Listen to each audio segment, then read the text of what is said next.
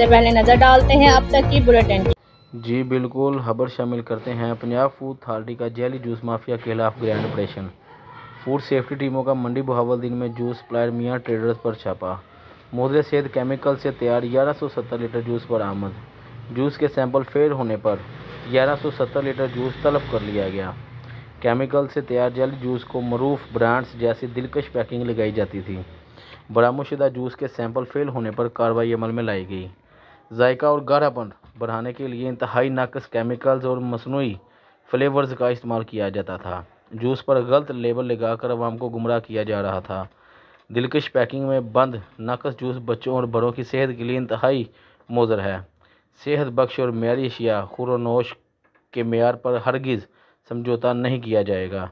D G food authority हिफान सेहत के असूलों के खिलाफ वर्जियाँ करने वालों को किसी सूरत बर्दाश्त नहीं किया जा सकता। राजा